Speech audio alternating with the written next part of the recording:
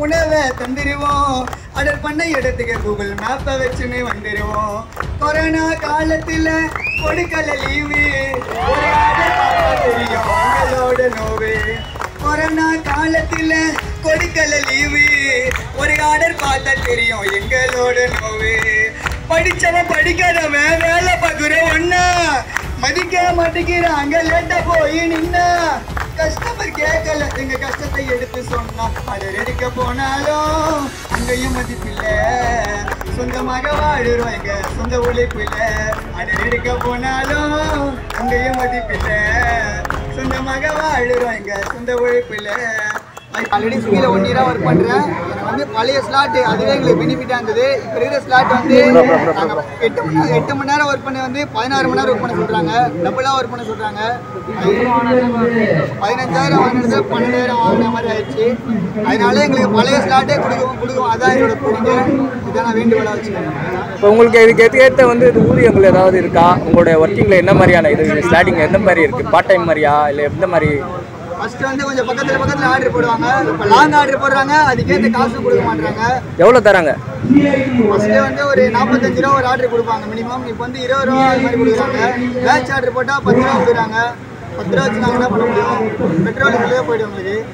அதான் அதுக்காக தான் எல்லாம் சேர்ந்து ஒன்று சேர்ந்து போட வச்சிருக்கோம் பழைய ஸ்டார்ட் வேணும் அதுதான் எங்களுக்கு பழைய. ஸ்டாண்டில் எவ்வளோ இருந்தது? இப்போ எவ்வளோ பண்ணியிருக்காங்க? பழைய ஸ்டார்ட் பார்த்தீங்கன்னா நானூற்றி எழுபத்தஞ்சு ரூபா ஓட்டினா இரநூத்தி ரெண்டு சொல்லி கொடுப்பாங்க.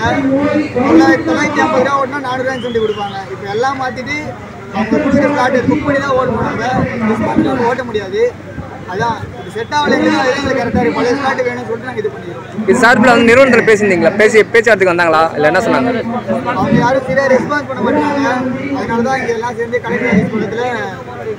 அலுவலகத்தை ஏதாவது தொடர்பு கொண்டு இந்த மாதிரி போகக்கூடாது அப்படின்னு ஏதாவது மிரட்டல் கொடுத்தாங்களா?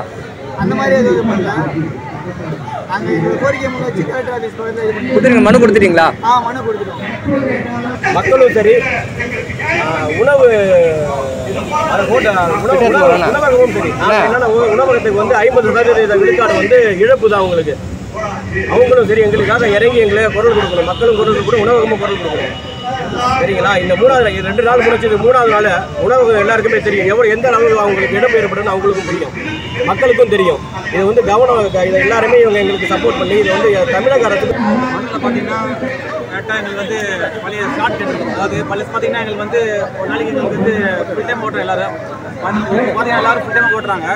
ஒரு நாளைக்கு நான் ஒரு நானூற்றி எழுபது ரூபா பார்த்தா ஒரு இரநூத்தி இரநூத்தி எழுபது ரூபா இன்சென்ட் வருவாங்க.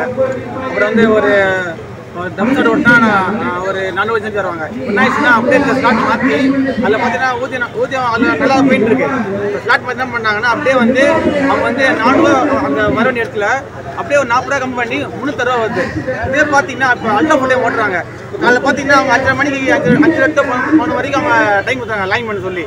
இப்போ நான் கேட்குறேன் இப்போ பார்த்தீங்கன்னா எல்லாரும் பார்த்தீங்கன்னா தோன் எடுத்து வெளியே தான் இருக்காங்க. ஒரு ஒரு ஃபைவ் கிலோமீட்டர் பிஃபோர் இருக்காங்க. இப்போ அவங்க ஃபைவ் கிலோமீட்டர் பிஃபோர் இருக்கும்போது அவங்க எப்படி காலைல நாலு மணிக்கு எழுந்துச்சி தோன் வந்து ஆன் பண்ணி சும்மா தான் வரணும் ஆர்டர் எதுவும் வராது. இப்போ ஆர்டர் பார்த்தீங்கன்னா எப்போ வரும் பார்த்தீங்கன்னா ஏழு தான் ஆர்டர் வரும். இப்போ அவங்களாம் எப்படி வருவாங்க பார்க்கலாம். அதே மாதிரி பார்த்தீங்கன்னா ஸ்நாக்ஸ் பிக்ஸில் அதே மாதிரி தான். என்ன பண்ணீங்கன்னா சில பேர் என்ன ஒரு பிரேக் எடுக்க வீட்டுக்கு போவாங்க. இப்போ நாங்களும் சொன்ன பொதுவாக பார்த்தீங்கன்னா மத்தியானம் பீக்கில் லஞ்ச் பீக்கில் ஆர்டர் எங்களுக்கு ஹெவியாக வரும். அப்போல்லாம் பார்த்தீங்கன்னா எங்களுக்கு உண்மையாக எங்களுக்கு ரெஸ்ட்ரூம் போக கூட எங்களுக்கு நேரம் இருக்காது. ஆனால் ஆர்டர் டெலிவரி பண்ணோம். உள்ளே போனால் அது மாதிரி சாப்பிட நேரம் இருக்காது. அந்த சாப்பிட டைமில் பார்த்தீங்கன்னா கரெக்டாக எங்களுக்கு போவோம். பார்த்தீங்கன்னா அந்த பீக்லாம் முடிச்சு தான் போவோம். அந்த நேரம் எங்களை வந்து அந்த லாக் பண்ணுறான் நீங்கள் வீட்டுக்கு போகக்கூடாது தோணில் தான் இருக்கணும். சொல்லி எங்களை எங்களுக்கு வந்து நேரத்தை வந்து பணிச்சுமையை வந்து எங்களுக்கு அதிகரிச்சுட்டான். பன்னெண்டாவது இந்த வேலை எங்களுக்கு பார்த்தீங்கன்னா மூணு நாலாவது சேர்த்து பதினாறு மணி நேரம் ஆகிட்டாங்க எங்களுக்கு பணிச்சுமை அதிகமாக ஆகினது இல்லாமல் நம்மள பக்க குறைபாடு கொ- கீழே நம்ம கம்மி பண்ணிட்டாங்கல்ல.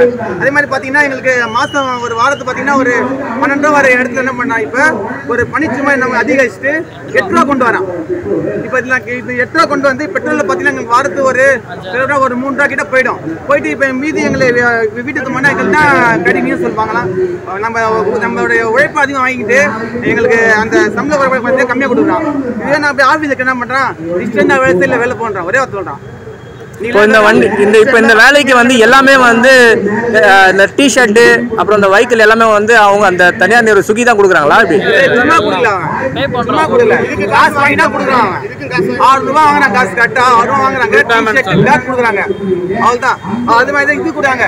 அவங்க நாங்கள் மழை காலத்துக்கு நாங்கள் வந்து டெலிவரி பண்ணுறோம் ஃபர்ஸ்ட்லாம் பார்த்தீங்கன்னா மழை காலத்தில் பார்த்தீங்கன்னா எங்களுக்கு ஒரு ஆர்டருக்கு வந்து முப்பது ரூபா கொடுத்துருந்தான் அப்புறம் ஒரு ஆர்டர் இன்னொரு இன்னொரு பார்த்தா முப்பது ரூபா. மூணு ஆர்டர் மேலே பார்த்தா ஐம்பது ரூபா. ஃபர்ஸ்ட் ஸ்டார்ட் இருந்தது என்ன பண்ணா அப்படியே குறைச்சி பண்ணா பத்து ரூபா ஆகிட்டான் பத்து ரூபா ஆகிட்டான் சரி பத்து ரூபா ஆக்கு நான் என்ன சொல்ல நான் என்ன சொன்னேன்னா பத்து ரூபா ஆக்கு என்ன சொல்ல? அந்த பத்து ரூபா இடத்துல என்ன பண்ணினா அதுவும் என்ன பண்ணினா இருபது ரூபா ஆகுனா இருபது ரூபா எடுத்த மாதிரி பத்து ரூபா ஆகுனா பத்து ரூபா ஆகிட்டு இப்போ அதுவும் பார்த்தீங்கன்னா எங்களுக்கு மழை பெஞ்சா கூட நாங்கள் அப்ளை பண்ணுறோம் ரெயின் மோடுக்கு இப்போ மழை பெஞ்சு சொல்லி அப்ளை பண்ணுறோம் ஏற்றுக்க மாட்டான். அந்த ஆடு டெலிவரி முடிச்ச பிறகு தான் அப்புறம் ரெயின் மோடு ஆன் பண்ணி விட்றான். எப்போ மழை வந்து எப்போ வந்து மழை வந்து பெய்யுதோ அப்ப ஆன் பண்ண மாட்டான். எப்போ வந்து மழை முடிஞ்ச பிறகு ஆன் பண்ணி விடுறாங்க கரெக்டா அப்ப என்ன பண்றான்? ஃபர்ஸ்ட் ஃபர்ஸ்ட் எங்க ஸ்கூல்ல பாத்தீங்கன்னா மழை பெஞ்சாங்கல்ல ஆர்டர் எவனுக்கு போட மாட்டான். எவனுக்கு போட மாட்டான். அந்த ஆனா ஆர்டர் நிறைய கொடுக்குறாங்க அப்படின்னு சொல்றாங்க இல்ல இல்ல.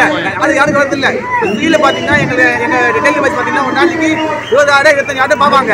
என்ன ஆகுதுன்னா பத்து ஆடு பார்த்தா உட்காராங்க தவிர மீதி ஆடு ஏன் ரேபிடோ ஸ்டாடா பஸ்ஸிங் எடுத்து போறாங்க. இப்ப நான் இப்ப அவங்க மாதிரி இப்ப இவங்களாம் எதுக்கு நம்மள நம்மளா எதுக்கு சொல்லுவாங்களா? அதாவது நம்மளா பாத்தீங்கன்னா ஒரு பாருங்க இருபது ரூபா இருபது ரூபா ஆடு இருக்கு இருபது ரூபா வெயிட்டிங் இருபது ரூபா வெயிட்டிங் அந்த ஒரு மணி நேரம் அங்கே பத்து கிடக்கு அஞ்சு ரூபா தான். நல்லா ஜூம் பண்ணுங்க ஜூம் பண்ணுங்க தமிழ் ஃபார்ட்டி ஃபைவ் ருபீஸ் இடத்துல எங்களுக்கு